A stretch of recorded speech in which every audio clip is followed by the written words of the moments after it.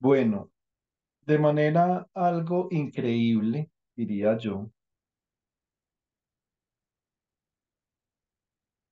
por la heterogeneidad del grupo y por lo poco que llevamos nosotros, por ejemplo, trabajando con Melissa. eh, ¿cierto? Entonces, me parece increíble que vayamos a comenzar el tema que vamos a comenzar hoy, pero pues ahí vamos a ver cómo nos va. Hoy vamos a comenzar con teoría cuántica de campos. La teoría cuántica de campos también, también tiene un lenguaje. Un lenguaje que hay que desarrollar. Eh, digamos, esto es un poco complicado. O sea, si me preguntan a mí, yo preferiría ampliamente no trabajar con teoría cuántica de campos en el sentido de que si uno puede llegar a un resultado, si uno puede llegar a un resultado de un problema sin teoría cuántica de campos, pues yo creo que sería bueno, porque es que hay veces que lo que uno tiene que aprender para hacer un cálculo con teoría cuántica de campo no, con, no compensa los resultados, los pocos resultados y la poca, prof- no la poca profundidad, sino el esfuerzo que uno tiene que hacer para lograr algo no compensa lo poco que logra, ¿cierto? No, sin embargo, en teoría cuántica de la materia condensada, la teoría cuántica de campos ha mostrado ser supremamente útil para uno navegar a través de las escalas de energía y de tiempo. Entonces vamos a mirar a ver qué es un campo clásicamente. Eh, mm, qué es un campo clásicamente. Vamos a desarrollar una tarea que yo le tenía a Melissa hace un par de años, que no hice.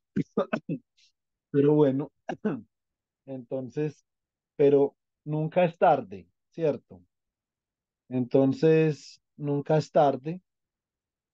Son palabras de, de un sabio. Yo tengo, yo sigo mucho a un sabio en Twitter, una persona que tiene una sabiduría bastante amplia, llama, se llama Francisco Pacho Maturana, ¿cierto? Y él decía que eh, perder es ganar un poco, ¿cierto? Entonces vamos, vamos a aplicar la sabiduría de Pacho Maturana aquí, a ver cómo nos va.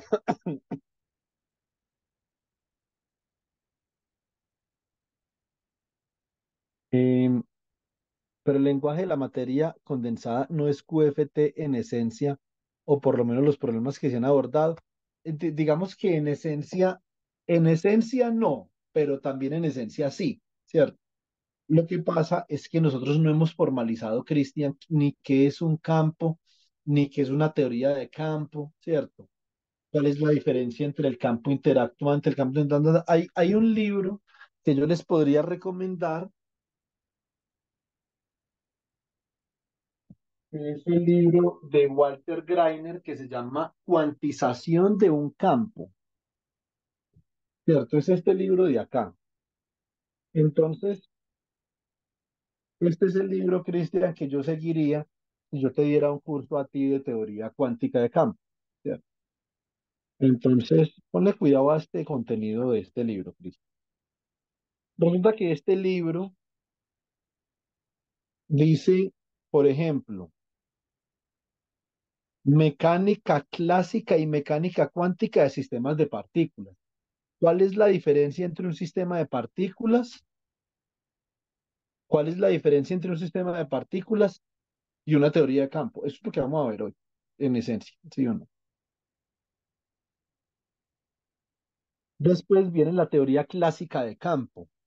La teoría clásica de campo yo a ti te la he enseñado, Cristian, porque nosotros hicimos un proyecto con teoría clásica de campo, pero te la voy a volver a enseñar. Después dice cuantización canónica, lo que vamos a ver hoy, hoy también, teoría cuántica de campo no relativista. Eh, mm, eh, campos de spin cero. Eh, eh, la ecuación de Klein-Gordon, campos de espino en medio la ecuación de Dirac, eh, ecuaciones de Maxwell y de Proca, y cuantización del campo del fotón, ¿cierto? Entonces, todo eso, Cristian, constituye un lenguaje. Ahora, ¿dónde se comienza a poner esto maluco? Esto se comienza a poner maluco. Ah, bueno, también vamos a ver la integral de camino que hace parte del capítulo 11. Esto se comienza a poner maluco cuando nosotros comenzamos a ver campos interactuantes, porque una teoría de campo interactuante no se puede resolver. Les voy... ¿Eso qué significa? Que a uno le dicen, ¿cómo así que una teoría de campo se puede resolver o no se puede resolver? Eso significa que si ustedes tienen la ecuación de Euler-Lagrange para los campos, pueden hallar una respuesta analítica para los campos. Eso es lo que eso significa, ¿cierto? ¿Sí o no? Muchas gracias, Santiago, por compartir el libro. Muy buen libro, ¿cierto? Em, mm, les cuento pues un secreto. Yo ese libro, este libro de acá no es original. Yo lo mandé a imprimir y lo mandé a empastar. Este libro original, si nosotros vivimos en Colombia, no lo compra ni Mandrake. Esta es una vaina horripilantemente cara y yo un millón de pesos, pero no voy a meter un libro. ¿Sí o no? Entonces, yo amo los libros, pero pues tampoco. ¿Cierto? Eh, ya después, obviamente, ese capítulo de campos interactuantes. ¿Cómo, cómo? Lo de su amiga. Sí, sí, que, que cuente lo de la amiga. ¿Qué pasó con la amiga, Darwin? Nada, nada. Eso, eso, eso es privado. Disculpen. No, tranquilo. Entonces, bueno, en todo caso, esperemos que la amiga de la persona con la que está Darwin se encuentre mejor. ¿Sí o no? Ojalá, ojalá. Entonces, ese capítulo, el capítulo 8, básicamente, que lo que, ¿qué nos está diciendo, Cristian? Nos está diciendo, oiga, si usted tiene una teoría cuántica de campo interactuante, tiene que hacer una expansión perturbativa para poder determinar la forma particular de los campos. ¿Y qué tal que usted no pueda hacer eh, teoría perturbativa? Pues entonces tiene que mirar a ver si es una teoría renormalizable o no es renormalizable. ¿Cierto? Entonces, em, mm, esto es más o menos, Cristian, como la estructura formal de la teoría cuántica de campos. Para nosotros, los físicos de la materia condensada, no es ese libro. Eh, la serie de Dyson, de alguna forma sí y de alguna forma no. Es un poquito más complicado que eso, pero uno podría comenzar a pensar, como yo les había explicado en la última charla en la serie de Dyson. Ahora, si uno es físico de la materia condensada, me temo que ahí sí tiene que escoger, digamos, el enfoque, pues. Eh, voy a estudiar teoría cuántica de campos. Y entonces, ¿qué hago? Bueno, yo les voy a presentar unas alternativas.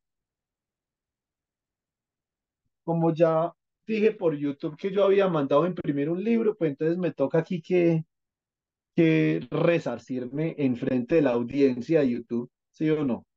Entonces, estos libros que les voy a mostrar, todos son comprados nuevos. Listo.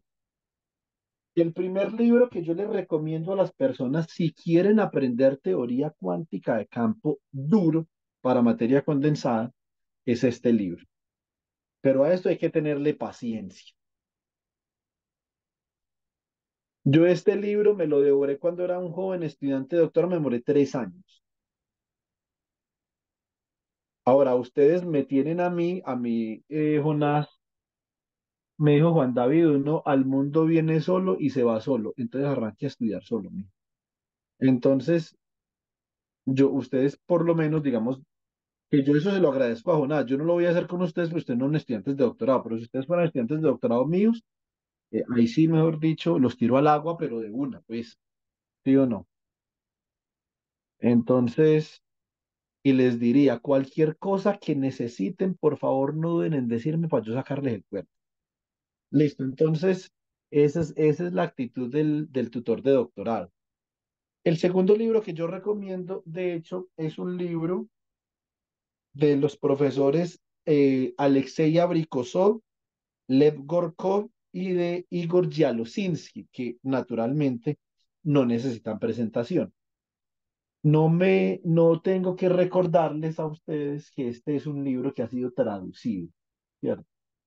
Este es un libro que ha sido traducido eh, por Richard Silverman, fue traducido desde el ruso al inglés. ¿Cómo se llama? Se llama Métodos de Teoría Cuántica de Campo en Física Estadística.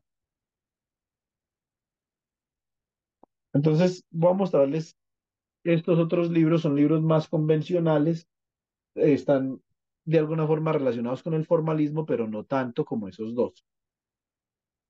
Se llama Introducción a la Física de Muchos Cuerpos de Pierce Coleman. Este es un viejo conocido. El profesor Christopher Mudry, del Politécnico de Lausanne. Yo no tengo ni idea dónde está ahora, pero en ese tiempo estaba en Lausanne. Y se llama eh, Notas de clase en teoría de campos en física de la materia condensada. Esta, esta vaina es una belleza. Todo está formulado en términos de integrales de camino, que es lo que les voy a enseñar yo. Sobre todo para que Melissa comience a calcular. Pero este libro, chicos, esto es, o sea, esto, esta vaina así la saca del estadio. Pues. Lo que pasa es que es muy difícil de leer.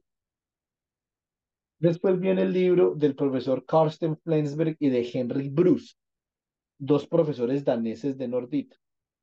¿Cierto? Por si alguien está viendo esto en YouTube, quisiera recordarles una cosa, Nordita no es un grupo, Nordita tampoco es un club de, no es un, no es aquelarre, pues tampoco. Nordita es un instituto de física teórica muy prestigioso. Que ya van dos personas que me salen con que el grupo. No, Nordita no es ningún grupo. ¿Listo? Un instituto de física teórica. Eh, se llama Many Body Quantum Theory in Condensed Matter Physics. Muy bueno, muy bueno, muy bueno. Ustedes tienen que mirar cuál es el libro que más les conviene ahora. Para los que están trabajando con teoría cuántica de campos fuera del equilibrio, como la compañera Melissa, yo les había dicho que este era el libro guía. Se llama eh, Teoría de campo de sistemas por fuera del equilibrio de nada más y nada menos que del profesor Alexei Kamenev.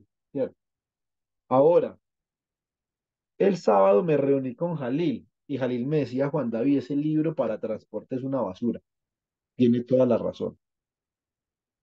Ese libro para transporte no hay. Lo que les están enseñando es cómo trabajar con funciones de Green por fuera del equilibrio. Esto no es un libro para aprender transporte. Y libros para aprender transporte yo la veo como complicada, ¿cierto? Yo lo que les recomiendo, les recomiendo para aprender transporte, el artículo de Yahoo Meiri Wingren y las clases mías de transporte. Listo. Con Cristian Santiago voy a abrir una nueva línea de transporte en superconductores y, la, y vamos a comparar los formalismos. ¿Cierto? El formalismo de scattering, que es el mismo que tenía ahí eh, Meiri Wingren. ¿Sí o no?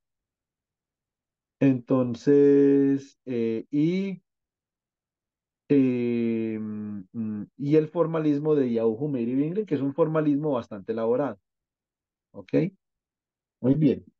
Entonces, dicho esto, y mientras en el estadio están presentando al Deportivo Pereira, vamos a arrancar un poco con los cálculos. Bueno, muy bien. Entonces, ¿qué queremos hacer nosotros? Bueno, primero que todo, Voy a colocar unos objetivos por acá. Entonces, to introduce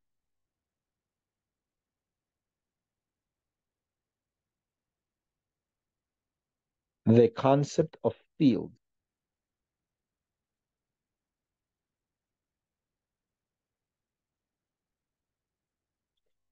Introducimos el concepto de campo. ¿Cierto? Esto es importante y ahora les voy a, les voy a recordar algo y es que todos los conceptos que vamos a introducir deben de ser vistos desde una sola perspectiva, ¿cierto? Entonces, para que no se me vayan a desviar, porque ustedes van a encontrar mucha información en Internet, por favor, no se vayan a desviar, chicos, que esto lo que vamos a ver es realmente difícil, ¿cierto? Y esto no es difícil en joda, o sea, esto es difícil de verdad, ¿sí o no? Entonces, esto es difícil y les recomiendo encarecidamente de que conversen de las dudas que tengan con el profesor Edilson cuando estén en Pamplona. Utilicen al profesor Edilson como una guía, como una orientación y me utilizan a mí. Nosotros, Edilson y yo, esencialmente tenemos la misma escuela y nos entendemos mucho para hablar de teoría cuántica de campos. Yo nunca entendí a qué se refería Blanca con teoría cuántica de campos. Sigo sin saber a qué se refiere Blanca con teoría cuántica de campos. Eso para mí es todo un misterio, ¿sí o no? Pero Blanca trabaja con teoría cuántica de campos de alguna forma que yo no entiendo. Eh, utilizar a Blanca como una fuente de información para teoría cuántica de campos podría tener, digamos, unas implicaciones importantes. Los podría confundir un poco. Utilicen a Edilson. No estoy diciendo que la teoría cuántica de campos de Blanca sea mala, no. Simplemente no entiendo muy bien a qué se refiere cuando habla de teoría cuántica de campos, ¿cierto? De pronto algún día eh, cuando esté, no sé, bajo los efectos del alcohol y que me quiera hablar otra vez, ¿cierto? Entonces, me podrá explicar a qué se refiere ella con teoría cuántica de campo, ¿cierto? Entonces, no entiendo muy bien. Yo lo veo como desde la perspectiva de que eh, más bien son como cursos de simetría en mecánica cuántica, ¿cierto? Simetría en teoría cuántica de campos podría ser. No, o sea, no, no, no, digamos, no puedo ver como mucho más allá. Entonces, pues lo que les digo es, no estoy seguro si de pronto Blanca sea una buena referencia para discutir esto, pero Edilson sí, ¿cierto? Y no es una buena referencia para ustedes, puede serlo para otras personas, sí, ¿cierto? Porque pues Blanca tiene artículos muy importantes en física de partículas, más bien como fenomenológico, ¿cierto? Y nosotros tratamos de trabajar más desde el trasfondo microscópico. Entonces vamos más como de la mano con Edilson. Entonces, eh, Blanca tiene unos artículos excelentes, tiene creo que algunos, algunos PRDs, ¿cierto? Entonces, pero sigo sin entender a qué se refiere con teoría cuántica de campos. Nosotros vamos a especificar perfectamente bien a qué nos referimos con teoría cuántica de campos. Posteriormente,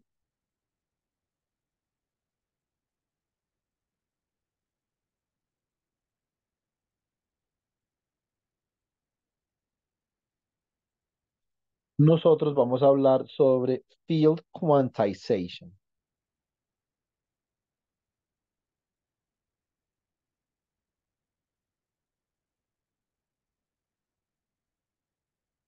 La cuantización del campo, según el libro de Greiner, esto sería canonical quantization. Muy importante para responder la pregunta que hizo el señor Pedro Luis Artunduaga Ortiz el día de ayer. Cierto, muy bien. Tercero, vamos a hablar del concepto de propagador, concept of propagator.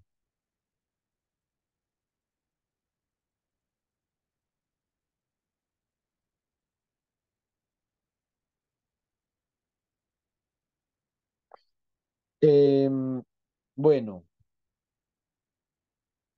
cuando nosotros hemos hablado del concepto de propagador, digamos que sería interesante vincular eso con la dinámica cuántica y podríamos hablar de pictures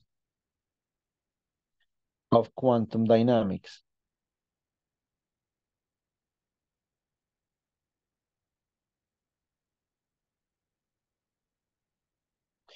Y posteriormente, por último, vamos a hablar de dynamics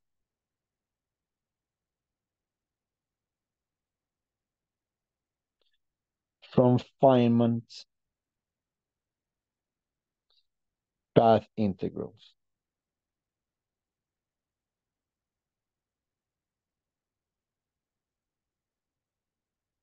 Bueno, muy bien. Entonces, vamos a comenzar. vamos a comenzar a, a, mm, digamos, a colocar la luz sobre el concepto de campo. Entonces, para eso, yo voy a hacer lo siguiente.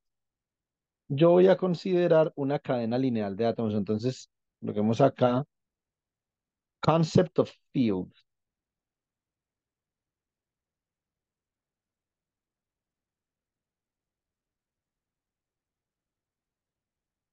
¿Listo? Entonces, por acá voy a tener una cadena lineal de átomos, la voy a considerar de esta forma.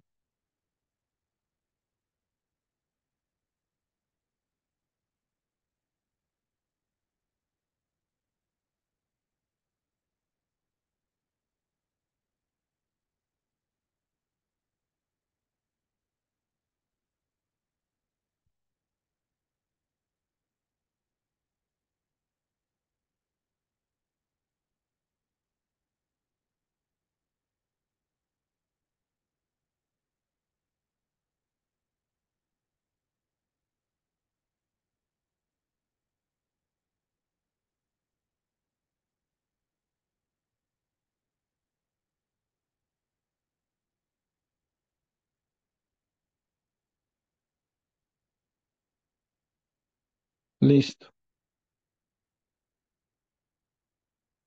Es una cadena lineal de átomos. Bueno, eh, y yo voy a definir acá algunos átomos, algunas posiciones las voy a etiquetar. Entonces, por ejemplo, acá hay unos resortes.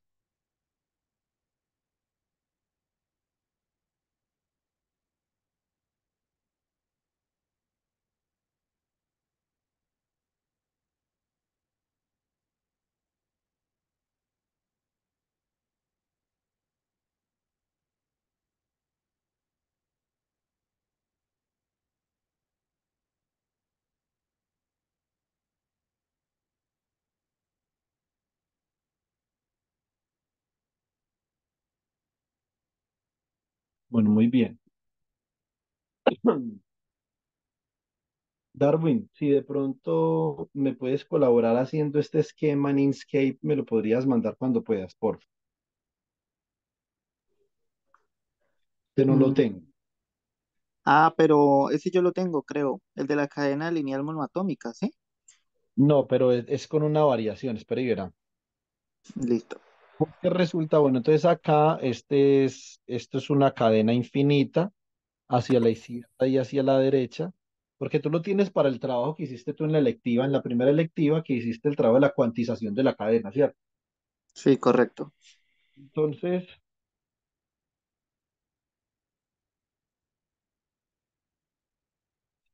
pero resulta, Darwin, que esto tiene aquí una, una variante, y es que cada uno de los átomos,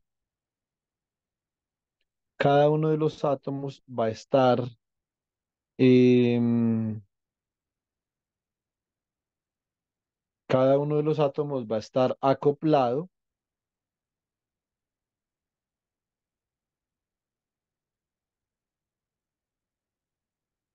acá,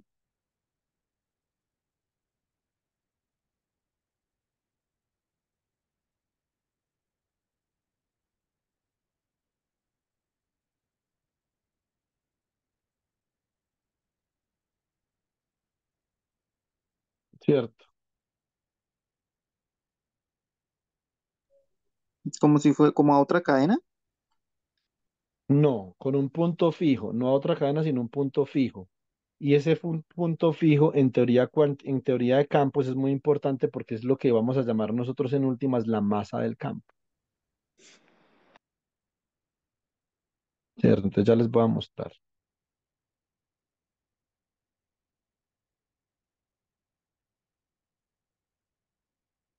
Y acá obviamente hay unos puntos suspensivos.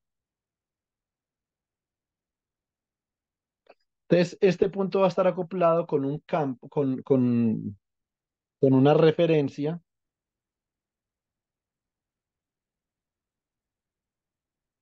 estacionaria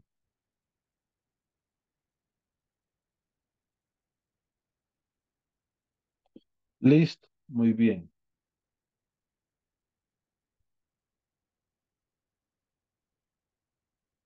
Entonces, esto es una constante acá, lo voy a llamar kappa, ¿cierto? Estas constantes de estos resortes, unas constantes kappa.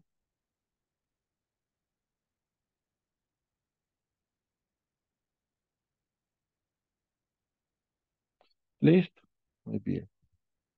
Y las constantes de estos resortes de acá son unas constantes que voy a llamar kappa prima.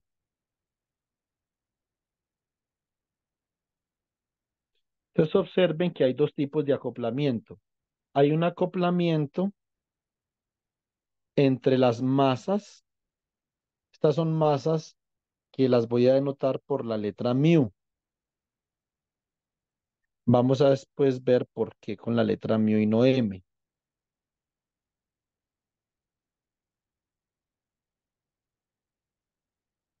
Listo, muy bien. Y estas masas se van a desplazar. Por ejemplo, si esta masa de alguna forma su coordenada de desplazamiento es q sub m menos 1, la coordenada de desplazamiento de esta masa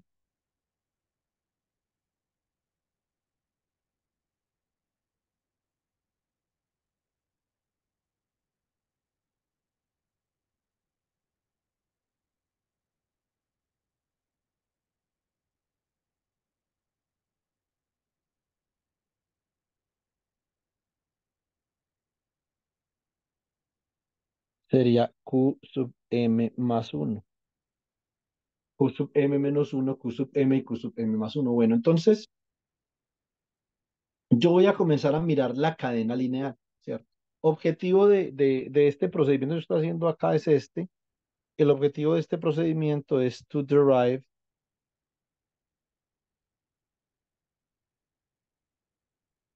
equations of motion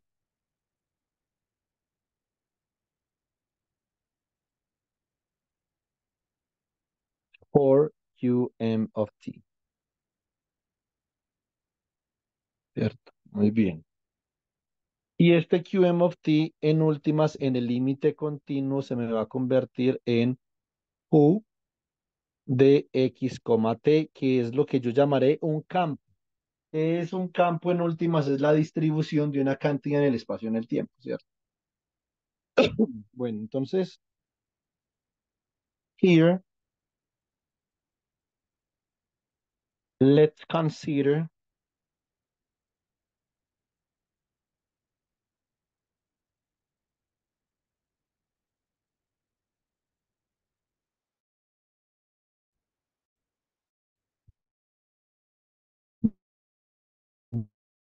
the kinetic energy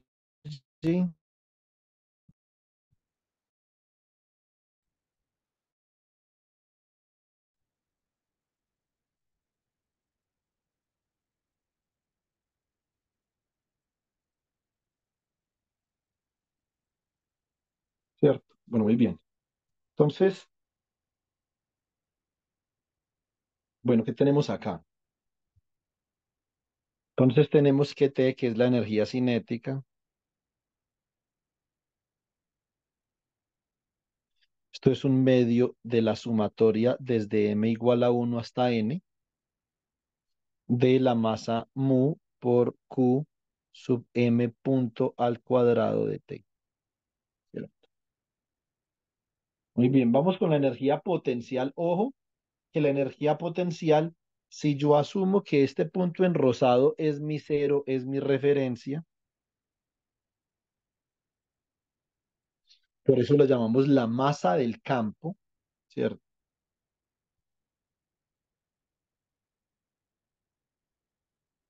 Por eso lo llamamos la masa del campo. Entonces,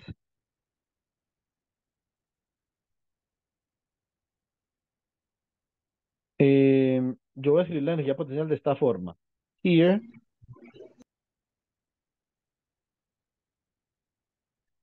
the potential energy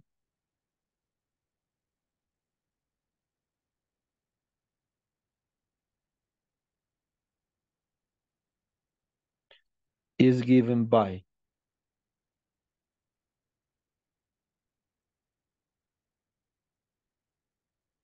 U va a ser igual a quién? Entonces, U es igual a un medio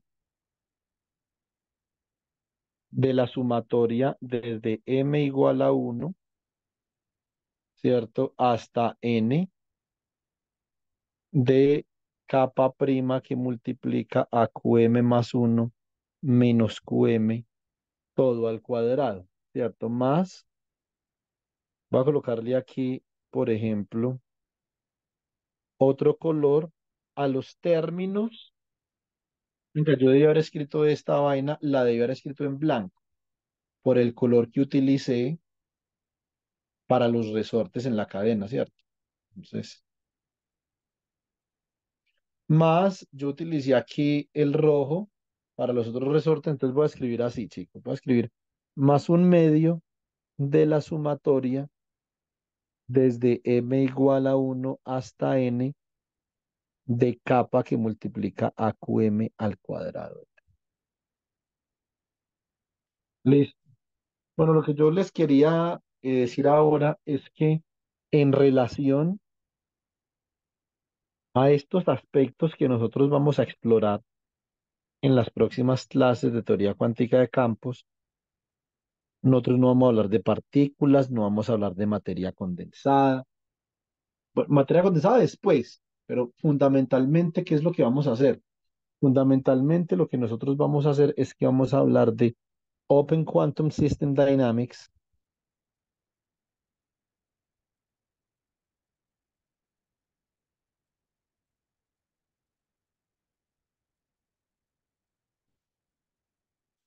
using Green's functions, ¿cierto? De, de esto es que se tratan estas clases. Vamos a decir, bueno, ¿y qué es lo que vamos a hacer acá? Entonces, bueno, más o menos esto. Ahora voy a, voy a definir el Lagrangiano, ¿cierto? Now, let's define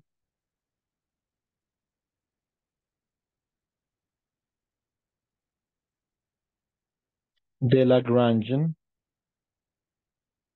as follows.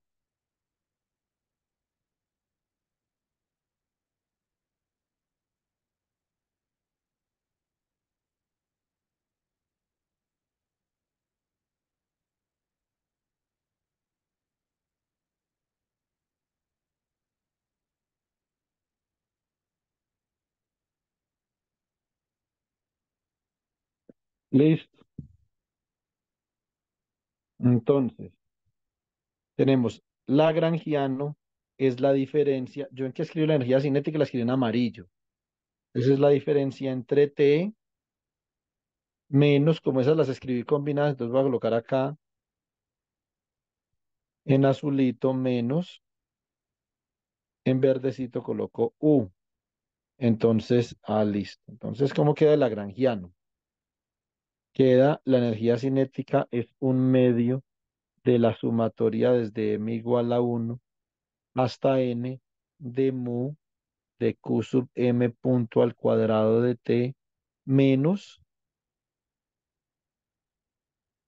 un medio de la sumatoria desde m igual a 1 hasta n de k' que multiplica a qm más 1 menos qm al cuadrado menos un medio de la sumatoria desde m igual a 1 hasta n de capa que multiplica a qm cuadrado de t. Muy bien. Una vez nosotros tenemos el lagrangiano, si a nosotros nos están preguntando, venga, ¿cómo evolucionan con el tiempo el conjunto de coordenadas a las que usted hace referencia? Pues yo creo que clara, claramente, clara, claramente nos están preguntando por la dinámica, ¿cierto? Entonces, eh, ¿qué hacemos? ¿Qué hacemos cuando a nosotros se nos pregunta por la dinámica y tenemos el lagrangiano? Bueno, pues tienen toda la razón. Eh, resolvemos las ecuaciones de Euler-Lagrange. Dame un segundo. Bueno, entonces, now,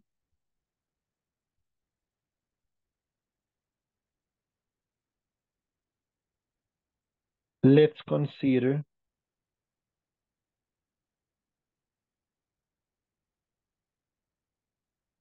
the Euler Lagrange equations.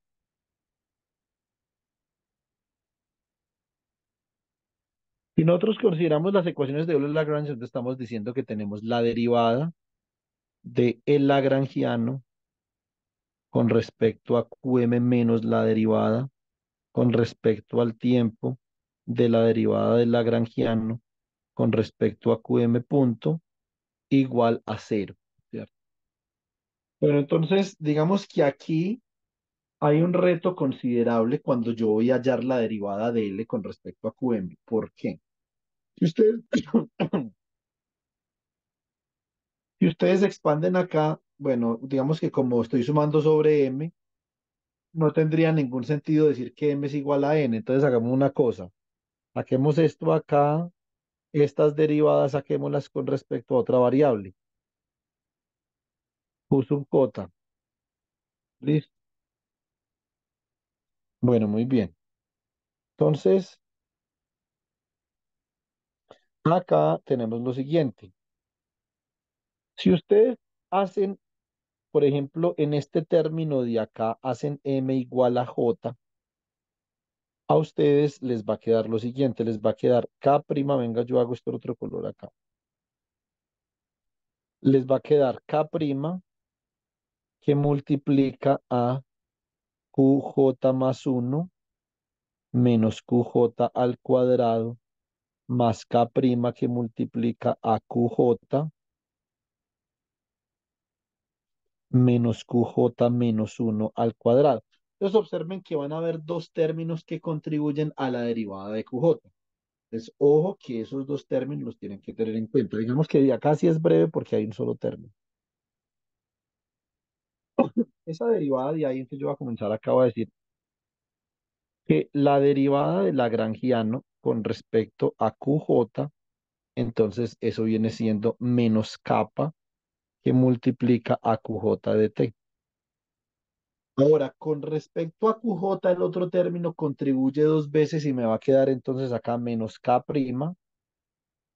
que multiplica a QJ más 1 menos QJ, ¿cierto? Por la derivada interna de QJ, que es quién, menos 1, o sea que esto queda como más. Acá sí queda como menos porque la derivada interna de QJ en el segundo término es menos. Esto me va a quedar acá como menos K' que multiplica a QJ, ¿cierto? Menos QJ menos 1. Yo ya comienzo a ver un patrón más que interesante en este problema. ¿Por qué? Eh,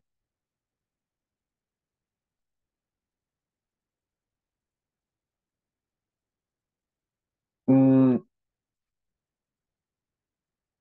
un segundo.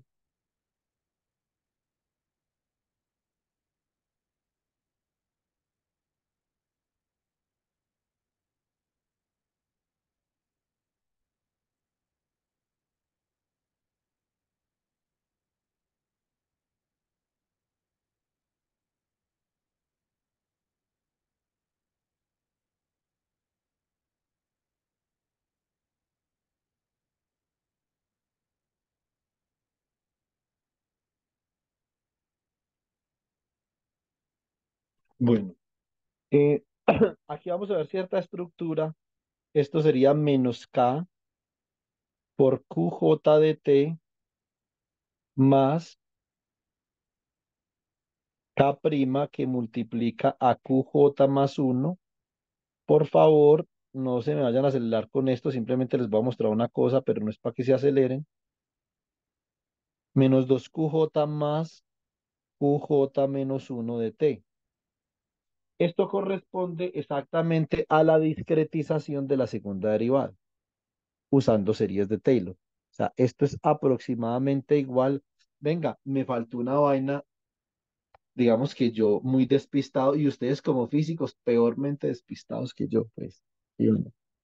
Entonces, eh, ¿cuál es la distancia? Un parámetro importante dentro de este tipo de modelos es cuál es la, la distancia de separación de los átomos en ese cristal. Eso es como un cristal en una dimensión. Entonces, la distancia, observen este grafeno. ¿Qué caracteriza este grafeno? Recuerden que la física, sobre todo la física de materiales, es pura geometría. La física de cualquier índole. A este grafeno lo caracteriza esencialmente la distancia que hay entre este átomo de acá y estos vecinos de acá, ¿cierto? Los que han visto el curso de teoría cuántica de sólidos que les mandé a ver, ojalá que se lo hayan visto, entonces se dan cuenta que ahí lo que caracteriza realmente la estructura de bandas del grafeno es esa distancia, ¿cierto? Entonces, esa distancia es una distancia importante. Listo. Muy bien. Eh, ahora, si esa distancia de ahí entre esas unidades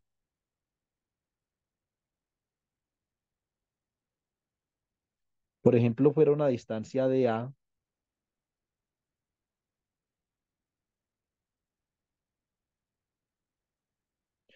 eso significaría que este término acá es aproximadamente A igual a A al cuadrado por la segunda derivada con respecto a X de algo. ¿Por qué no la escribo de una vez? Pues no la escribo de una vez porque no sé qué es ese algo. Primero tengo que tomar un límite para poder saber qué es ese algo. ¿Cierto? Listo. Excelente. Entonces, ya más o menos tenemos esta ecuación de acá es funcional. ¿Cierto? Muy bien. Ahora vamos a ver cuánto vale la derivada. Miremos cuánto vale la derivada. Regálame un segundo, yo miro una vaina acá. Uy, qué bizarro. A ver.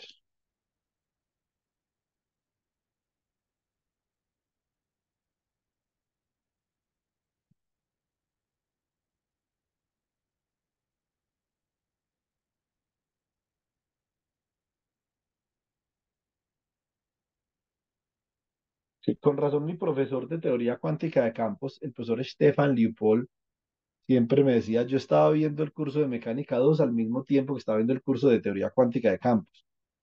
Y él me decía, Juan David, usted ni de puntas va a entender esto si no termina el curso de mecánica, de mecánica clásica 2. Que mecánica,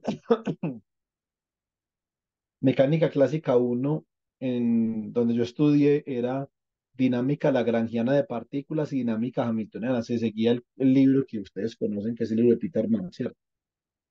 Entonces, y el capítulo de teoría de campos en el libro de Peter Mann es como el capítulo 20 y pedazo, ¿cierto? Entonces eso sería mecánica clásica 2. Para uno entender de qué va esta vaina, uno tiene que haber visto un curso de teoría de mecánica clásica medianamente, medianamente decente. Entonces, segundo.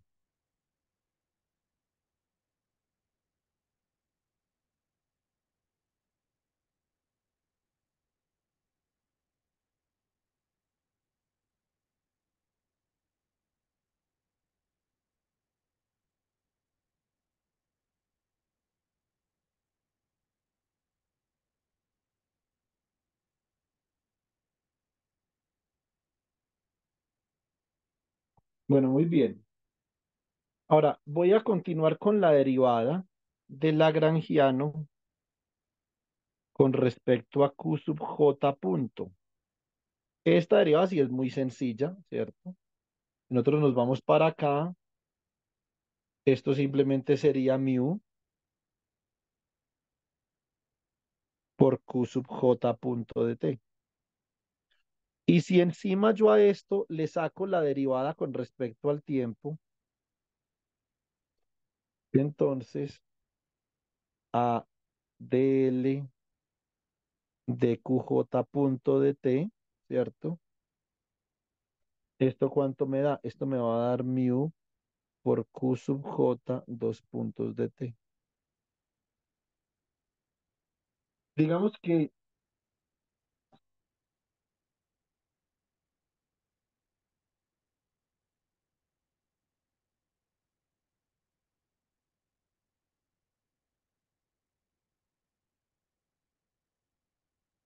un segundo,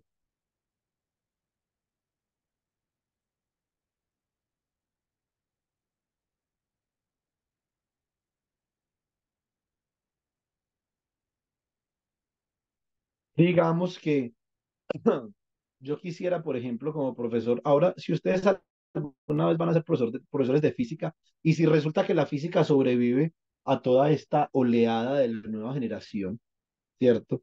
Que no sirve ni para hacer un sándwich, ¿sí o no? Entonces, pero si llegara a pasar de que la física sobrevive y que también el concepto de profesor sobrevive, les voy a dar un tip muy importante. Ustedes en sus cursos, independientemente de lo que sean curso, tienen que tener en cuenta esto. Cuando ustedes estén desarrollando un procedimiento, ustedes tienen que siempre fijar el norte computacional del procedimiento, es decir, ese procedimiento, ¿cómo hace para acabar en un computador? ¿Sí o no? Eso es fundamental. O sea, la física teórica ahora sin computador, chicos, es muy parecido. Iba, espera un momentico, yo pauso el video. ¿Cuál sería el norte computacional de este problema? Entonces, por ejemplo, cuando yo vuelvo a las ecuaciones de Euler-Lagrange,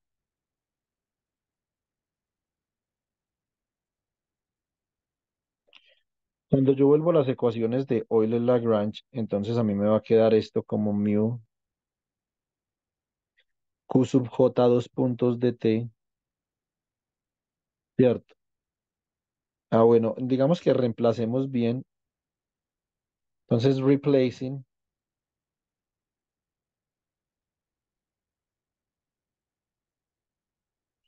on Euler's Lagrange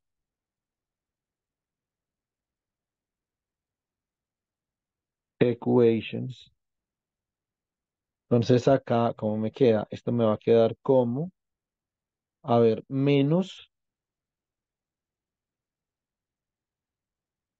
menos, menos capa por Q sub J de T más capa prima que multiplica a Q sub J más 1 de T menos 2 Q sub J de T más Q sub J menos 1 de T, ¿cierto? Menos mu por Q sub J, dos puntos de T igual a cero. ¿Cuál es el, digamos, cuál es la motivación computacional de esto? Que yo, por ejemplo, si yo tuviera un sistema continuo y lo discretizo, de aquí me van a salir un conjunto de n ecuaciones diferenciales de segundo orden para las variables dinámicas de cada masa, ¿cierto? Muy bien, entonces, therefore, we write, entonces, ¿qué voy a escribir yo acá, chicos? Entonces voy a escribir Q sub J dos puntos, ¿cierto? Entonces esto sería igual a quién? Esto sería igual a capa prima dividido mu que multiplica a Q sub J más 1 de T menos 2Q sub J de T más Q sub J menos 1 de T, ¿cierto? Menos capa sobre mu por Q sub J de T. Realmente esto es un conjunto de n ecuaciones diferenciales porque resulta que J va desde 1 hasta n. Ahora, ¿será que yo puedo obtener a partir de esta ecuación diferencial que yo tengo acá, yo podría obtener, em, yo podría obtener un, una ecuación en derivadas parciales? Naturalmente que sí, ¿cierto? Entonces, digamos, pero hay que hacer unas cosas. Pero la ecuación diferencial parcial, digamos, se soluciona discretizando el dominio. Y esto es lo que sería el dominio discretizado de una ecuación en derivadas parciales. ¿cierto? Entonces, por ejemplo, eh, ¿cómo quedaría esta matriz? Listo. Entonces, puesto matricialmente quedaría de esta forma. Simplemente les quiero hacer algo ilustrativo. Matriz tridiagonal. vector, ¿cómo? Se llama matriz tridiagonal. La matriz tridiagonal. Muy bien, Pedro. Sería Q dos puntos.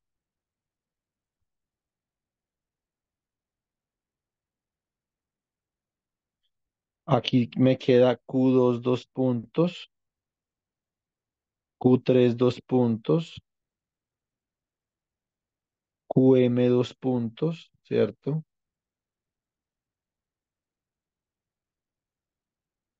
QN dos puntos. Esto sería un vectorcito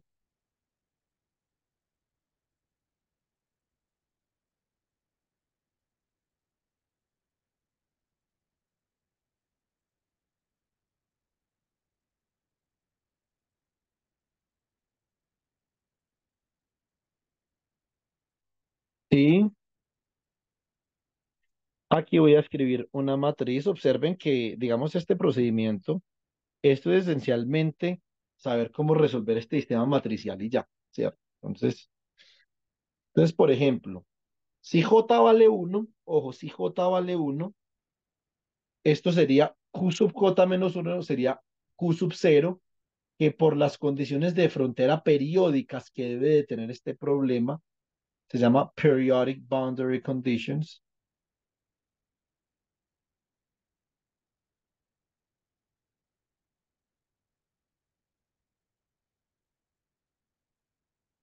Por esas condiciones de frontera periódicas, entonces Q sub 0 de t debe ser igual a Q sub n de t.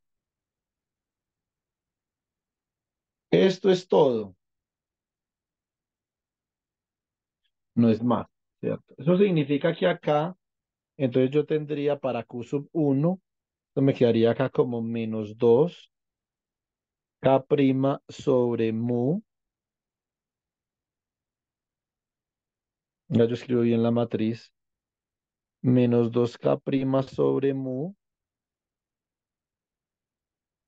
Menos, bueno, escribámoslo de esta forma. Menos 2K' más K sobre mu, ¿cierto?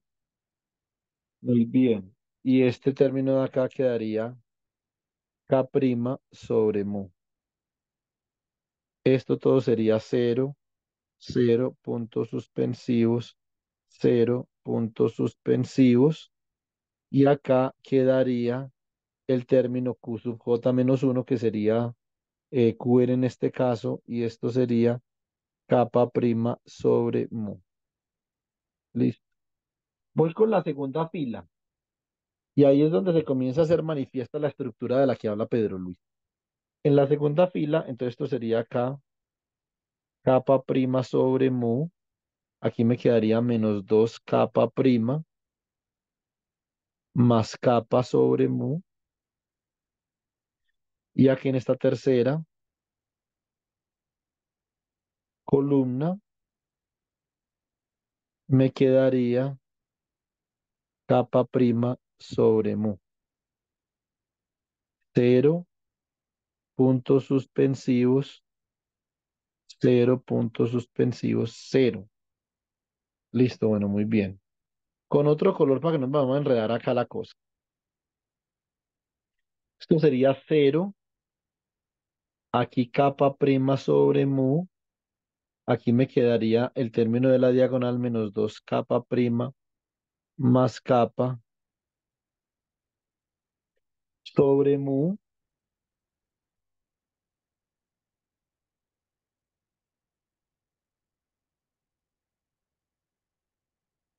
Aquí me quedaría capa prima sobre mu, puntos suspensivos cero, puntos suspensivos cero. Muy bien, QM, ya ustedes se la pueden imaginar. Por acá QM va a tener un término capa prima sobre mu menos 2 capa prima más capa sobre mu, capa prima sobre mu, punto suspensivo, ¿cierto? Muy bien. Y el término QN, entonces tendría acá un término capa prima sobre mu, ¿cierto? ¿Por qué? Porque en las condiciones de frontera periódicas hay otra condición importante y es que Q sub n más 1 de t es igual a Q sub 1 de t.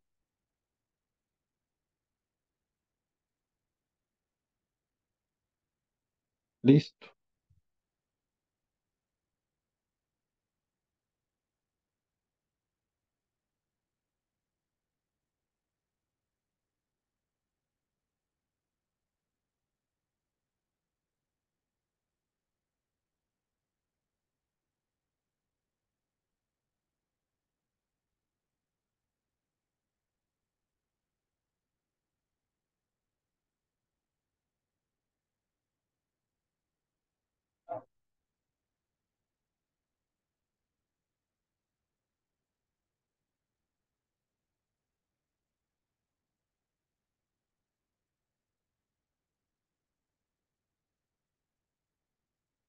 Bueno, entonces, y acá, entonces van a ver un mundo de ceros. Entonces un cero por acá, cero, cero puntos suspensivos, cero. Y acá, entonces, antes de llegar, va a haber que esto va a ser un... Ah, no, no, no. Esperen un segundo. Si J es igual a N, ah, sí, entonces antes de llegar hay un capa prima sobre mu y el último término sería un menos 2 capa prima más capa sobre mu.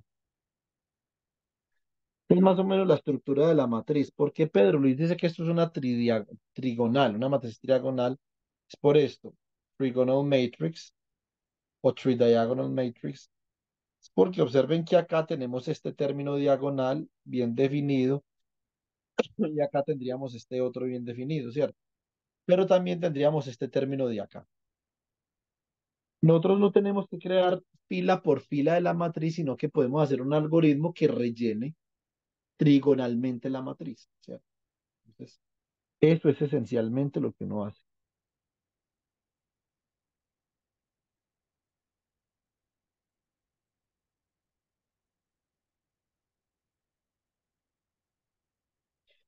Entonces, esta sería la estructura matricial de ese sistema de ecuaciones diferenciales de orden 1, perdón, de orden 2. Entonces acá iría Q1 de T, Q2 de T, Q3 de T, QM de T, hasta QN de T.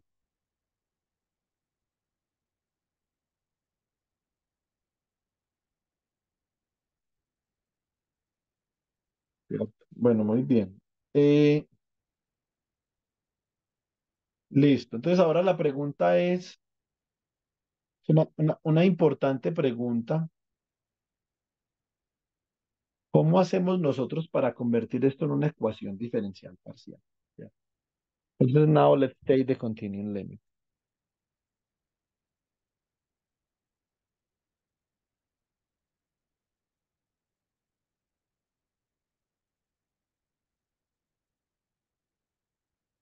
Si nosotros tomamos el límite continuo, ¿eso qué significa? Entonces ya les voy a explicar.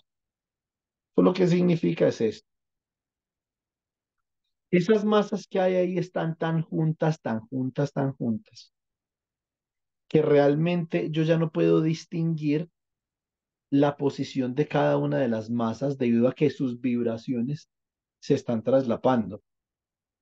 Yo puedo cuando la separación es amplia, ahí sí, ¿cierto?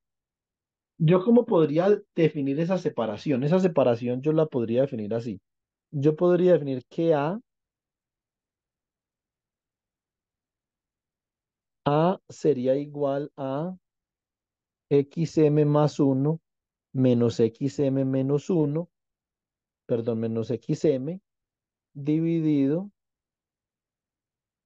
entre el número de átomos de la cadena. Eso significa, eso significa que el límite cuando n tiende a infinito, es decir, si yo tengo una cadena con un número infinito de átomos acoplados,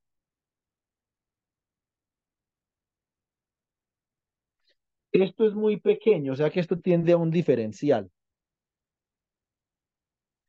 Esto es el límite continuo.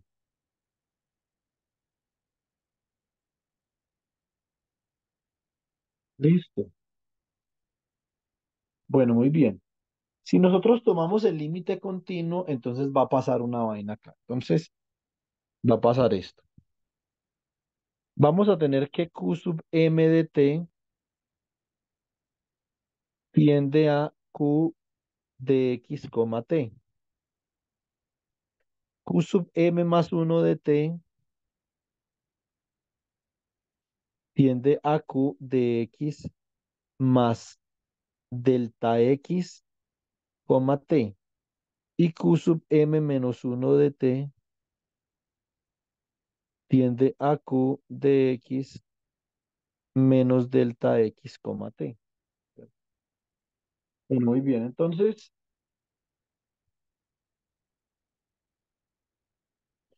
resulta que in the continuum limit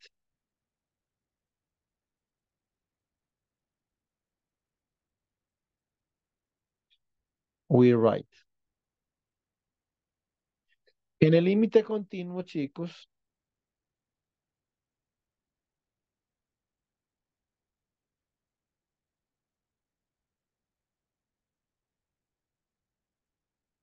em, entonces yo tendría lo siguiente, yo tendría que la ecuación mía, que sería Q sub M dos puntos de T igual a capa prima que multiplica a QM más 1 de T menos 2QM de T más QM menos 1 de T. Bueno, esto sería sobre mu menos capa sobre mu, ¿cierto? Ya yo pienso cómo me tiro por acá.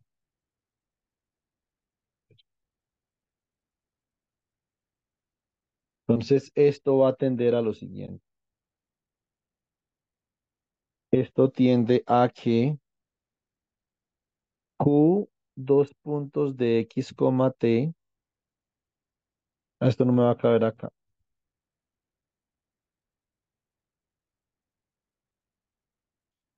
Q dos puntos de X, T. Esto sería capa prima sobre mu.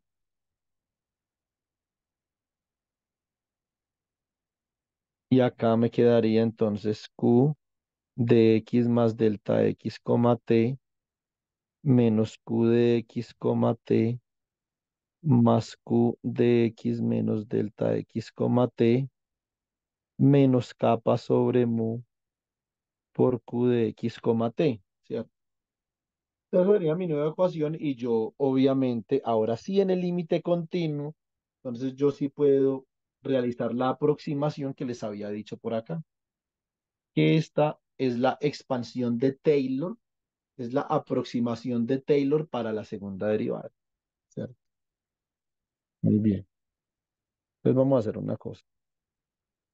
Este término que yo tengo acá, bueno, acá me faltó otro paréntesis. Este término que yo tengo acá es no es otra cosa que la segunda derivada de q de xt con respecto a x multiplicado por quién, por delta x al cuadrado. Bueno, entonces, con ese delta x al cuadrado yo voy a proceder a hacer una renormalización de parámetros, que es algo convencional en teoría cuántica de campo. Muy bien. Entonces, aunque acá, David, hasta el... ¿Sí? qué pena, ¿qué pasó con el 2 que acompañaba, eh, pues en la parte, cuando ya hizo el límite continuo, creo que le Ah, faltó sí, el ah, no, no, sí, sí, exactamente. Sí, porque si no, Meli, eso no sería la expansión de Taylor de la segunda derivada, ¿cierto? Entonces tienes razón. Entonces, em, mm, bueno, esto todavía es una teoría clásica de campo. ¿Y por qué es una teoría clásica de campo? Porque yo no he impuesto ninguna cuantización sobre ningún objeto de la teoría clásica de campo. ¿Cuándo se convierte esto en una teoría canónica? Un, un canonical quantum field theory, o sea, una teoría de campo cuántica canónica. Cuando yo impongo lo que decía Cristian Santiago al principio, cuando yo impongo una ley de cuantización sobre algún miembro de esta familia. ¿Cierto? Entonces vamos a hacer lo siguiente. Eh, pero creo que en la expresión amarilla, al final, el último término le falta el término Ah, crees bien. Gracias. Entonces vamos a hacer la siguiente renormalización.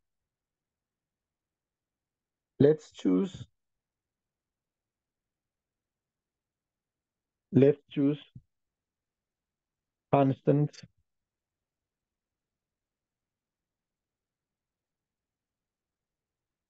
A and M such that. Ahora, ¿por qué no habíamos llamado las masas al principio M y no mu? Porque esta M es realmente lo que se conoce en teoría de campo como una masa. Entonces vamos a mirar a ver qué pasa ahí. Entonces, por acá me va a quedar que mu es igual a A por delta X. Entonces así es como yo escojo, así es como yo escojo a mu. Me va a quedar que kappa es igual a m al cuadrado, ¿cierto? Por A por delta X. Así, estos, así es como yo defino entonces el parámetro m.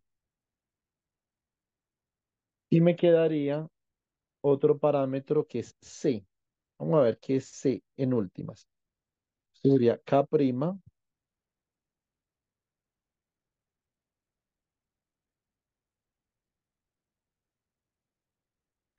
k' sería igual a la constante a por c al cuadrado dividido entre delta x. Pero ¿quién es a? A es realmente mu sobre delta x, o sea, esto quedaría acá como mu c al cuadrado sobre delta x al cuadrado. ¿Cierto?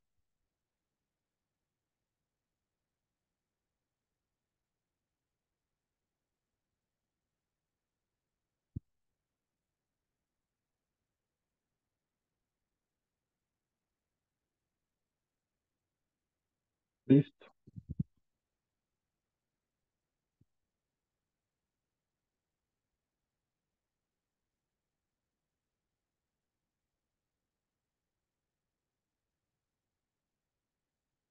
Muy bien, entonces revisemos cuánto vale, por ejemplo, algunos términos que tenemos en esta ecuación de acá.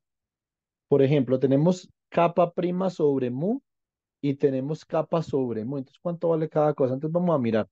¿Cuánto vale, por ejemplo, menos capa sobre mu? Capa es m al cuadrado a por delta x. ¿Cierto? ¿Cuánto vale mu? Mu vale a por delta x. Eso significa que este término simplemente queda como menos la masa al cuadrado. Esta es la masa del campo.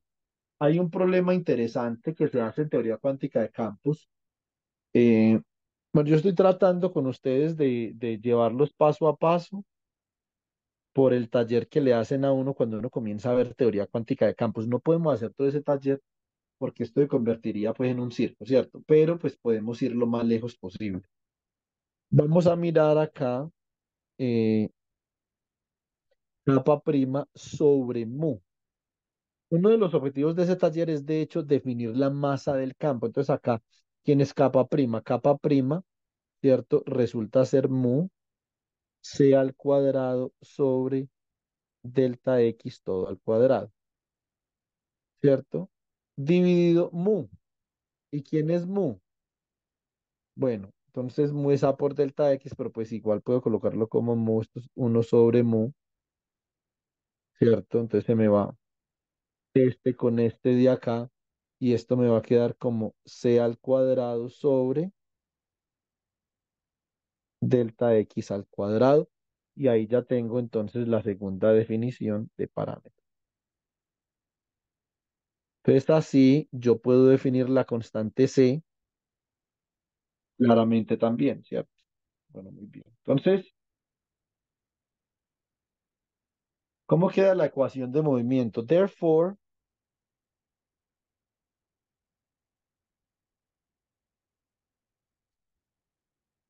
the equation of motion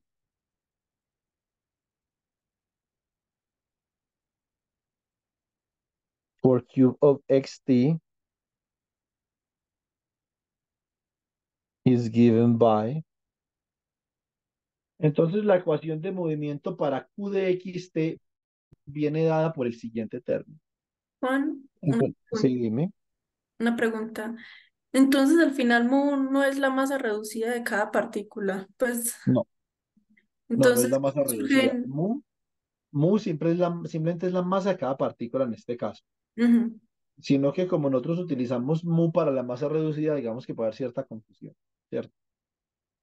Mu, mu es una masa. Ahora, que esto, por ejemplo, Melissa, de alguna forma proceda de separar grados de libertad de centro de masa y relativos, pues eso podría ser posible, Entonces, más sin embargo, yo estoy partiendo de ese modelo ahí. En ese modelo, mu es la masa. Listo.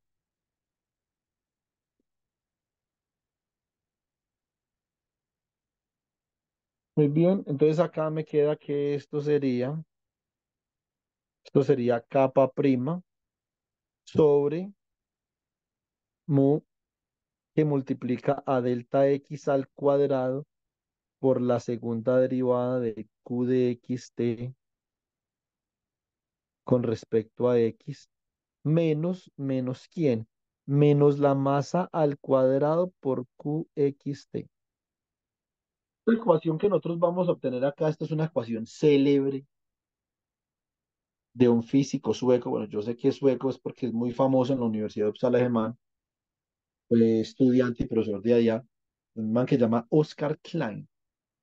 Vamos a ver. Entonces, eh, acá, cuando yo reemplazo este término, entonces este término me queda como c al cuadrado sobre delta x al cuadrado por delta x al cuadrado. Segunda derivada de q de xt con respecto a x menos m al cuadrado q de xt. Realmente, jovencitos y jovencitas, esto debe haber sido aproximadamente igual. Acá se me va esta con esta, ¿cierto? Y digo, therefore, we obtain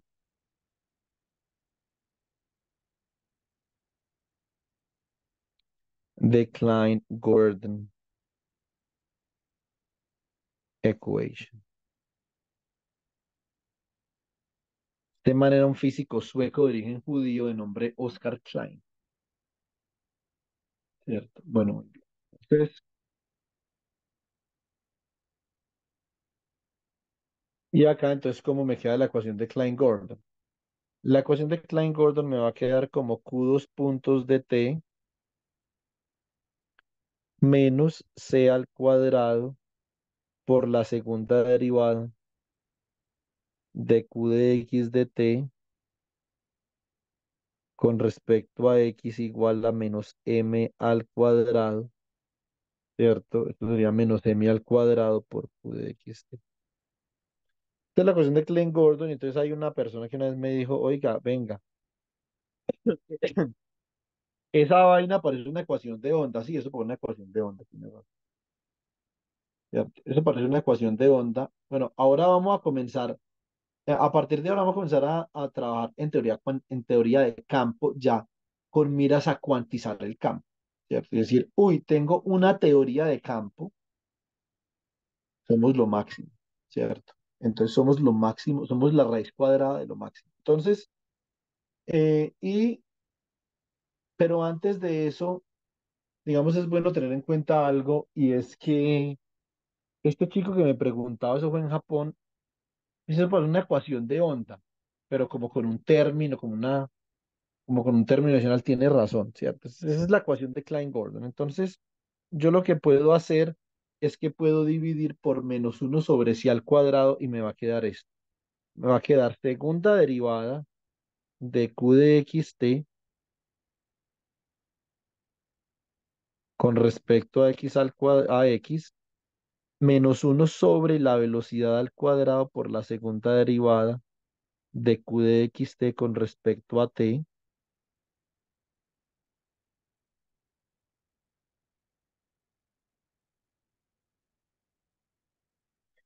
esto queda igual a m al cuadrado sobre c al cuadrado por q de xt. Y observen que esto no es otra cosa que el operador d'Alembertiano. Esto es el operador d'Alembertiano actuando sobre q de xt. Recuerden, no un operador en el sentido del espacio de Hilbert, sino la representación diferencial de un operador. Listo.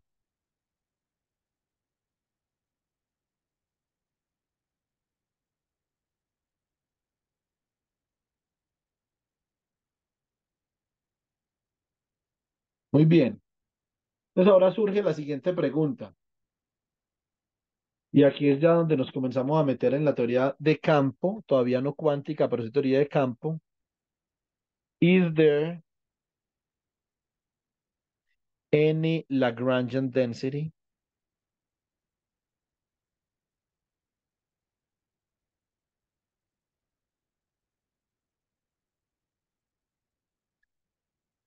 with Euler Lagrange equation given by expression 1. Entonces voy a decir que esta es expression 1. Entonces, esta es una pregunta muy importante. ¿Será que hay alguna densidad lagrangiana? ¿Existirá alguna densidad lagrangiana eh, de donde funja esta ecuación en derivadas parciales?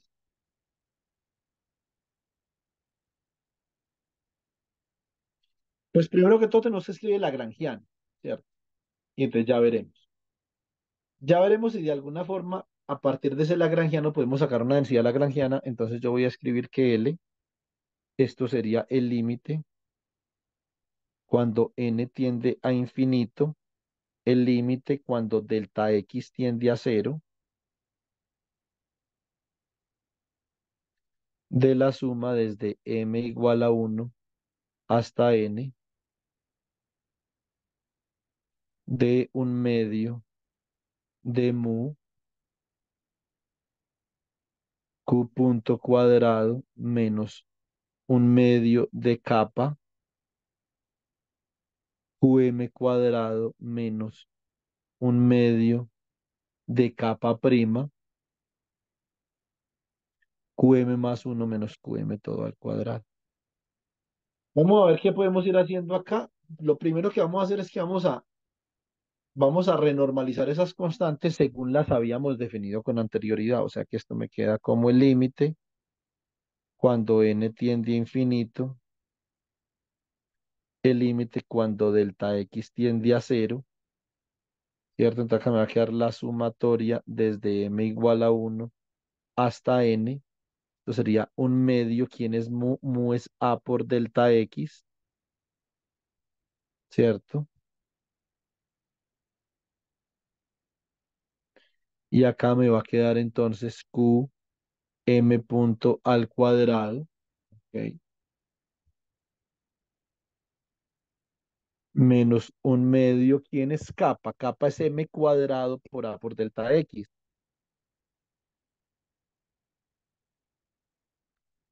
Por qm cuadrado menos un medio, ¿quién es capa prima? Capa prima es a por c al cuadrado sobre delta x. Entonces acá yo tengo esto que sería qm más 1 menos qm todo cuadrado. Bueno, yo creo que hasta ahí la cosa va considerablemente benévola, ¿cierto? Entonces no, no creo que, hayamos hecho, digamos, ningún paso extramótico. ¿Cuándo? ¿Cuándo nosotros podemos hablar de campo? Nosotros podemos hablar de campo cuando definimos una densidad lagrangiana, como ustedes, yo eso se los he explicado en algunos videos. Si quieren, mañana les hago una clase de teoría clásica de campo. Eso demora por unos 10 minutos, ¿cierto? Entonces, eh,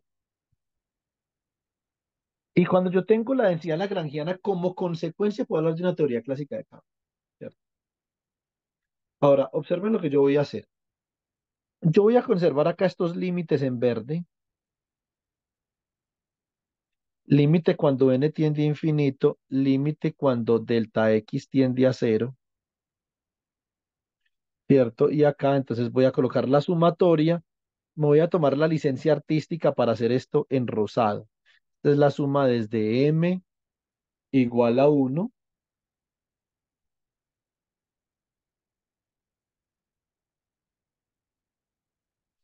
hasta n y acá voy a colocar el delta x. Lo estoy factorizando. Ah, pero si yo voy a factorizar ese delta x ahí, este término de acá no tiene delta x. Entonces tengo que multiplicar y dividir por delta x, ¿cierto? Y eso va a tener unas consecuencias que según el doctor Emmett Brown, entonces tendrán implicaciones en un futuro, ¿cierto? Entonces ustedes no son, no tienen la edad para entender ese chiste, lo siento. Eso es más que todo para la gente de mi época, los que vimos volver al futuro, ¿sí ven? ¿Quién los manda a no tener 40? Bueno, entonces, eh, los pelados, hombre.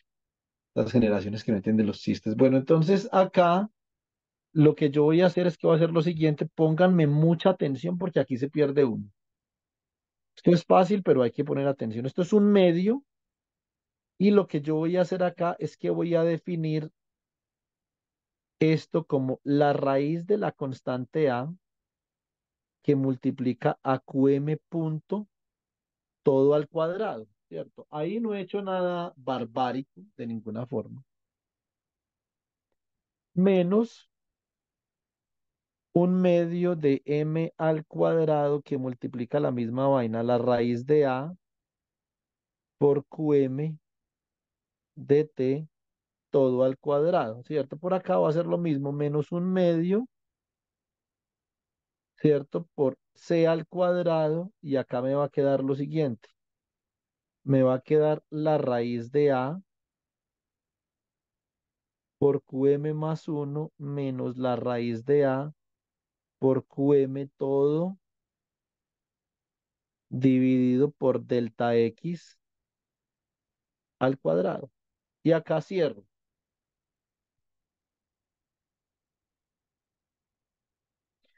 Si yo tomo el límite, si yo tomo el límite cuando em, n tiende a infinito y por consiguiente cuando delta x tiende a cero, observen que qm punto se me convierte en qx de t punto. y Qm de t se me convierte en Qx de t. Entonces vamos a tomar ese límite ya. ¿Y esto en qué se me convierte?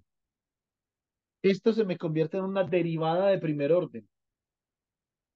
Cuando delta x tiende a cero, ¿cierto? Porque Qm más 1 se convierte en Qm de eh, delta x, de x más delta x, t menos qm de x, t, ¿cierto? Entonces voy a hacer eso. Esto sería, entonces acá, esta sumatoria y ese delta x es muy pequeño, esto se me convierte en una integral, o sea que esto queda como la integral sobre x. Y acá esto se me convierte en un medio de la raíz de a que multiplica a q de xt. Punto al cuadrado menos un medio de m al cuadrado que multiplica a la raíz de a por q de xt. Al cuadrado menos uno, un medio de c al cuadrado que multiplica a la derivada con respecto a x de la raíz de a de q de x, t. Listo. Ahí ya he aplicado los límites. Ahora yo digo, let's define now. Let's define the field phi of xt equal to square root of a.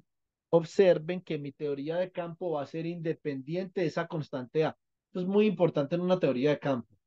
La teoría de campo no puede depender, escúchenme bien, la teoría como tal de campo no va a depender de constantes geométricas arbitrarias, la teoría. Puede que el potencial sí, pero la teoría no.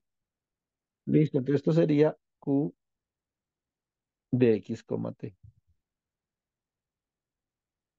Listo. Entonces, ¿cómo me queda esto? Me queda que el lagrangiano es la integral sobre X de un medio de phi punto al cuadrado de xt menos 1 sobre un medio de m al cuadrado por phi al cuadrado de xt menos un medio de c al cuadrado por la derivada de phi de xt de t. Este término que yo tengo dentro de la integral es lo que se llama una densidad lagrangiana. Esa última integral es con respecto a la posición. Sí. Porque la integral con respecto al tiempo, Cristian Santiago, va es en la definición de la acción. Cuando yo estoy haciendo, estoy sacando Euler-Lagrange a partir de la acción, ¿cierto? No, o me refiero a la derivada del último término. Esto lo está colocando con respecto al tiempo. Ah, ah sí, sí, sí, gracias. Tienes toda la condenada razón.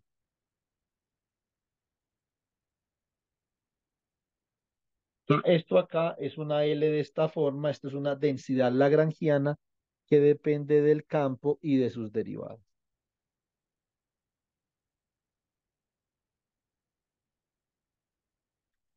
Entonces, a raíz de esto, nosotros ya podemos hablar, en efecto, ya podemos hablar de una teoría de campo. Entonces, field theory.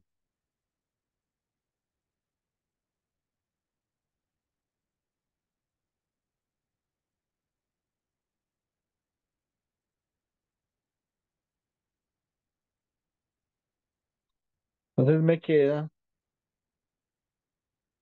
L de phi de sub t phi de sub x phi. Esto es igual a un medio de phi punto al cuadrado. Bueno, digamos que ya en el, en el vocabulario de teoría de campo, digamos, nosotros evitamos utilizar el punto, esto sería un medio, esto es d sub t phi al cuadrado, ¿cierto? Menos un medio de m al cuadrado,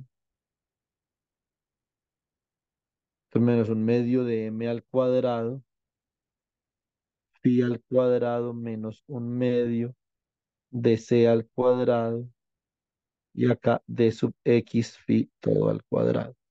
Cuando uno tiene una teoría de campo, bueno, esto es una teoría lagrangiana de campo, nosotros también podemos tener una teoría hamiltoniana de campo. Después, una vez Pedro Luis preguntó por qué hay teorías lagrangianas. Bueno, ¿cuál es la diferencia entre lagrangiano y hamiltoniano? Hay ciertas diferencias, de hecho. ¿cierto? Entonces, una diferencia muy importante es en los aspectos de simetría. Los aspectos de simetría hacen que eh, hacen que mm, hayan unas diferencias, digamos, un poco eh, pronunciadas entre el enfoque lagrangiano y el hamiltoniano. Cuando uno tiene este enfoque lagrangiano, uno de alguna forma lo primero que se va a preguntar es, ¿será que esta teoría de campo es Lorentz invariant o no? Esa es la primera pregunta, la primera de todas. Hay que preguntar, entonces por eso es importante poder mirar algo de la invarianza de Lorentz. Entonces, Juan, eh, si no estoy mal, en la parte verde te faltó un cuadrado en el último término, en la derivada con respecto a x. Sí, ahí falta. Sí, claro, y en la, y en la amarilla también, Pedro, en las dos. En la amarilla. Ah, En la sí. verde, en la verde y en la Sí. amarilla.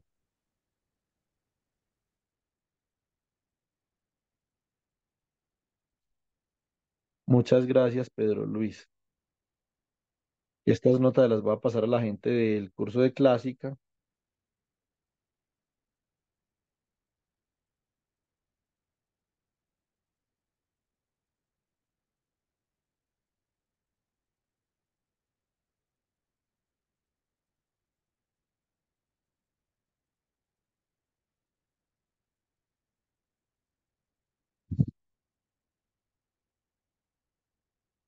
Listo.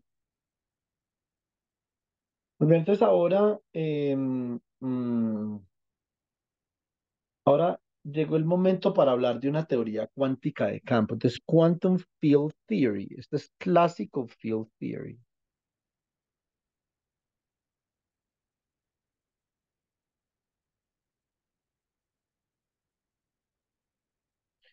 Llegó el momento para hablar de Quantum Field Theory.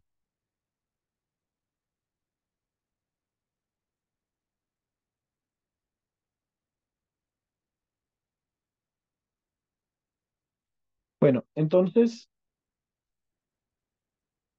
yo puedo escribir esto. In the discrete domain,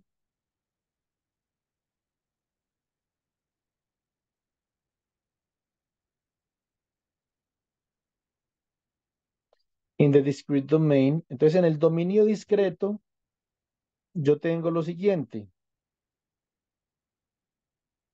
Yo tengo que el conmutador entre QM y QM punto, recuerden que el conmutador entre el momentum, el momentum sería quien sería mu por QM punto.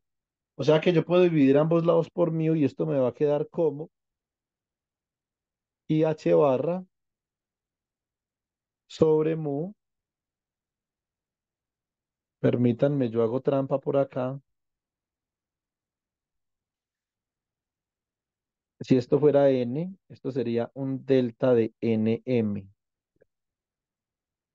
Esto está claro, eso es mecánica cuántica de coquito, pues. ¿cierto? Si yo tomo el límite continuo,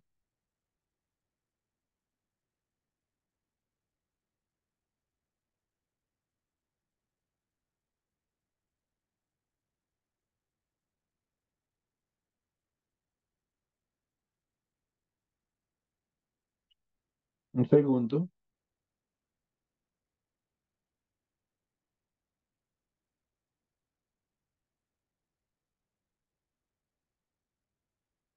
Si yo tomo el límite continuo,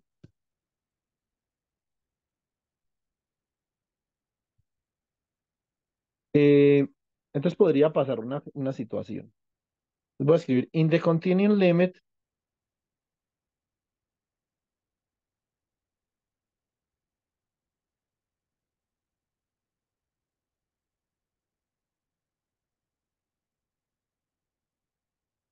we write.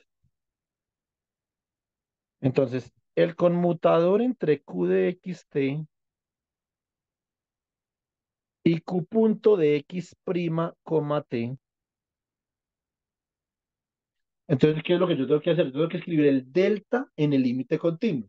Y hay una forma para escribir un delta en el límite continuo. Sería IH,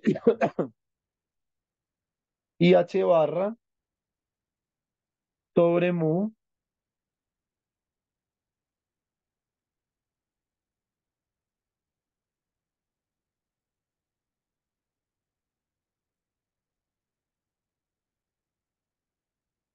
integral entre menos delta x medios y delta x medios. Esto es obvia, esto es una vaina muy conocida.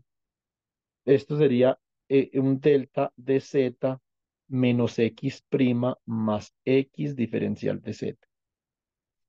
Eh, digamos esto en qué se basa. Bueno, esto se basa en lo siguiente. En que un delta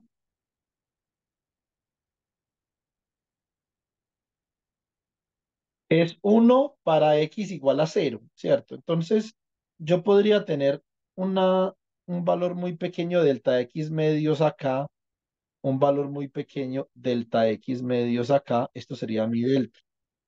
Ahora, si yo, si yo comienzo a mover esto en el plano y yo lo integro, entonces esa integral solamente va a dar diferente de 0 en un punto, ¿cierto? Y eso corresponde a la representación integral eh, a la representación integral de la delta, ¿cierto? Muy bien. Observen que yo aquí estoy imponiendo una relación. De, ¿Esto es una relación de qué tipo? Aquí lo que yo estoy haciendo es que estoy imponiendo una relación de conmutación entre el campo y su derivada temporal. Eso ya es una cuantización canónica y a consecuencia yo ya puedo hablar de la cuantización del campo una cuantización canónica porque todavía no estoy hablando del operador de campo, que sería la segunda cuantización.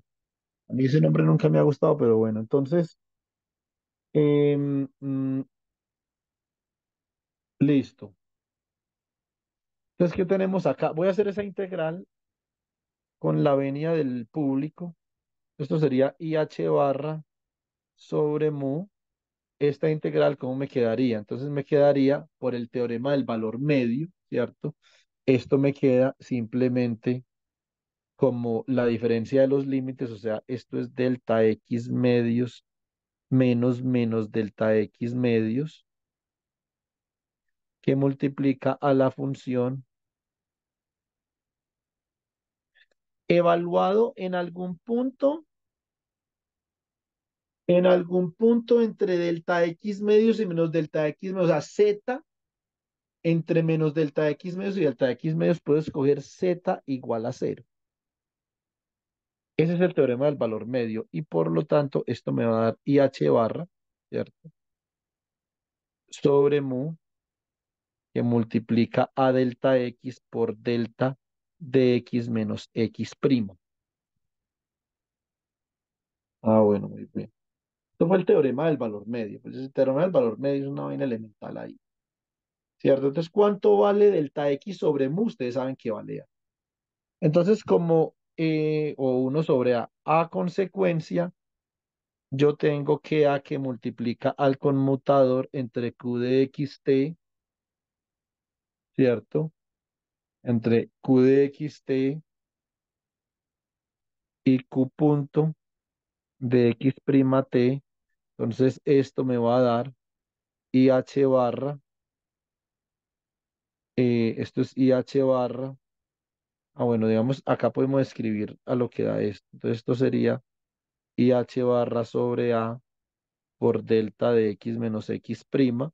Acá lo escribimos. Esto es un delta de X menos X prima. Y acá entonces yo puedo utilizar las definiciones con las que había trabajado en la parte de arriba y me va a quedar lo siguiente, me va a quedar que esto es la raíz de A por Q de xt, la raíz de A de Q de x prima, coma t, y esto va a ser igual a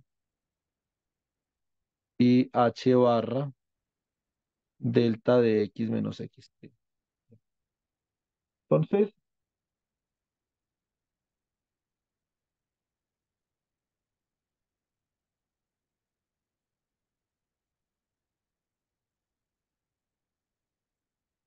pero yo pienso una cosa.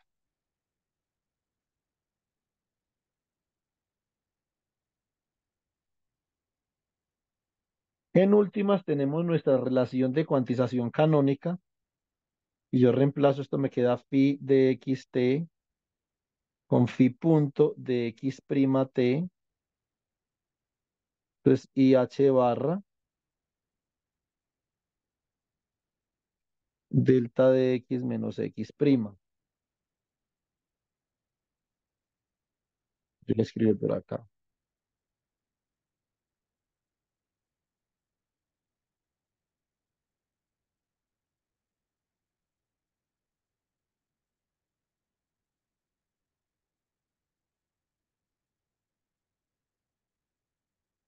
Esto lo que yo acabo de escribir acá se llama una relación canónica de cuantización. Como tal, ya el campo phi y el campo phi punto, nosotros ya podemos hablar de que esos dos campos son campos cuánticos, porque tienen una relación canónica de cuantización asociada. ¿Cierto? Entonces voy a escribir acá.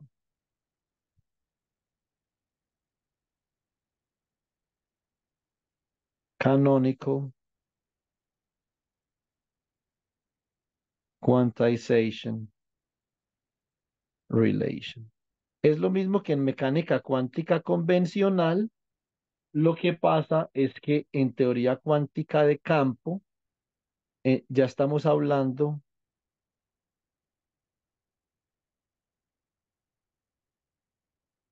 en términos de el continuo, ¿cierto?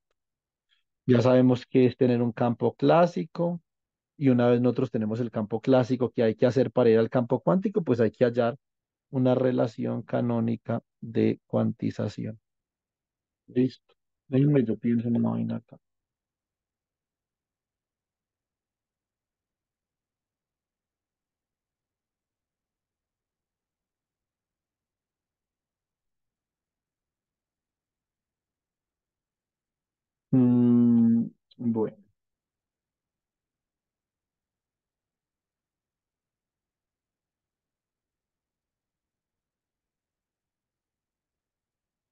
Aquí hay varias cositas que nosotros ya hemos hecho. Regálame un segundo.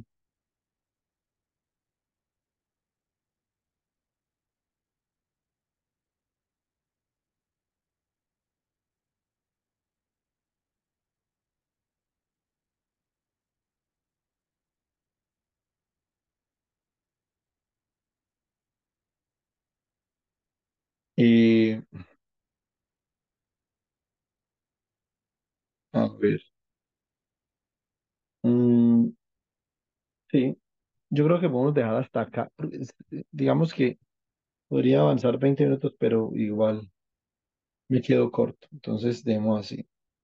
Sería la clase 16, ¿cierto?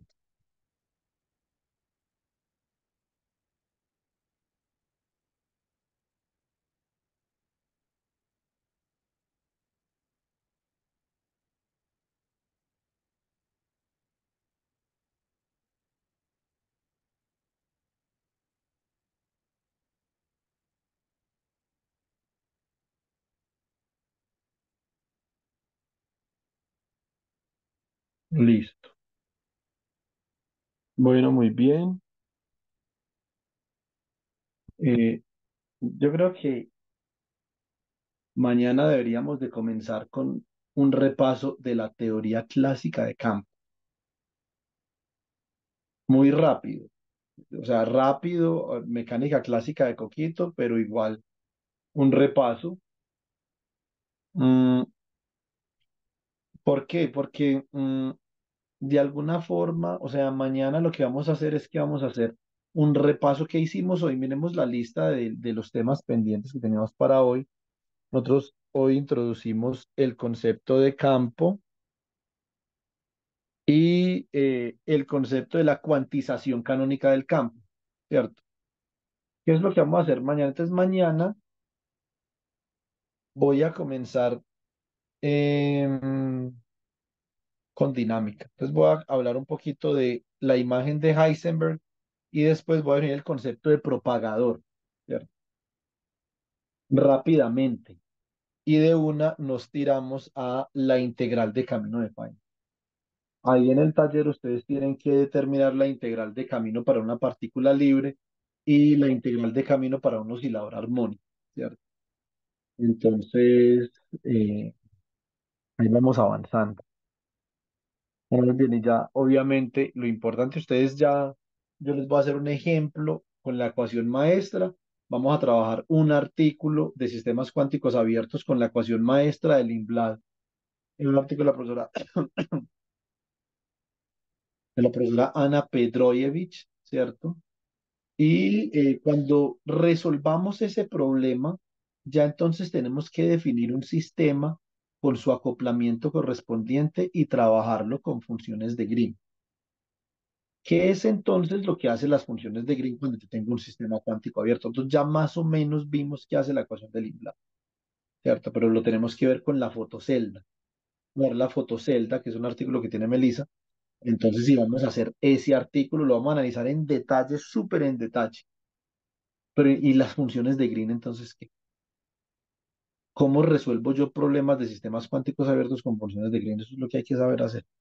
Porque ya ustedes, después ustedes pueden definir el hamiltoniano del sistema, el hamiltoniano del reservorio, del acoplamiento, y dicen, ah, yo sé resolver eso por las ecuaciones maestras y con funciones de Green, ¿cómo se hace? ¿Qué hay que hacer ahí? ¿Qué hay que definir? Para, para allá es para dónde vamos. Bueno, entonces terminemos aquí, encendamos la cámara para sacar la asistencia y nos despedimos.